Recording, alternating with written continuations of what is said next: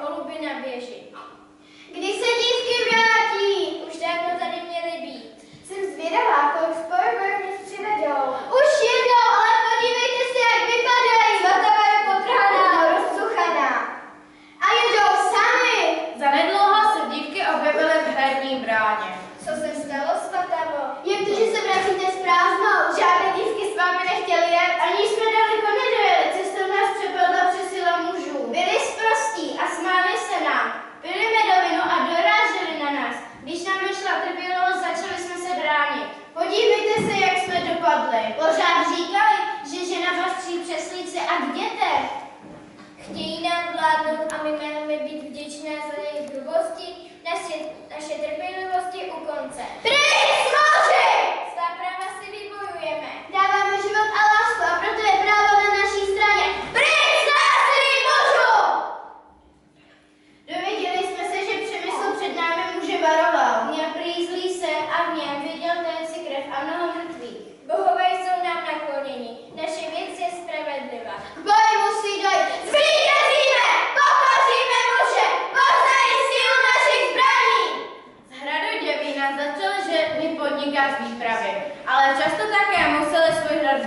proti útoku mužů. Bojovtivá vlasta měla spadenou hlavně na vladyku Sirada. Jeho bojovníci zabili mnoho dívek. Sirad byl však chytrý a polapit ho nebylo snadné. Vlasta si dlouho lámala hlavu, jak ho dostat. Konečně vymyslela na Sirada ďábelskou léčbu. Krásnou šárku nechala přivázat ke stromu. Přes rameno jí povyslala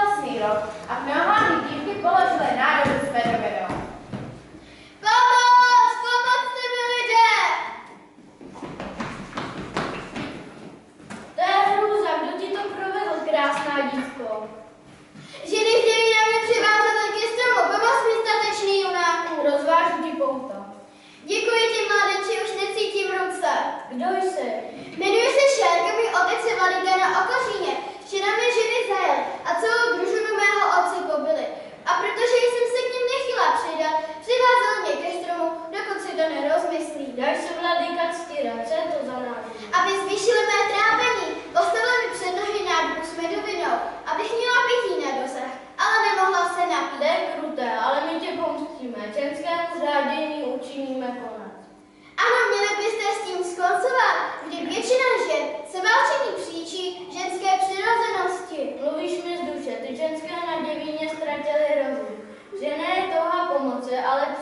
čas, kdy budou prosit o schovývavost. Když by tomu tak bylo, napij se medoviny a pozvi svou družinu. Hej, kraso, ke mně, pojďte se podívat, co jsem objevil.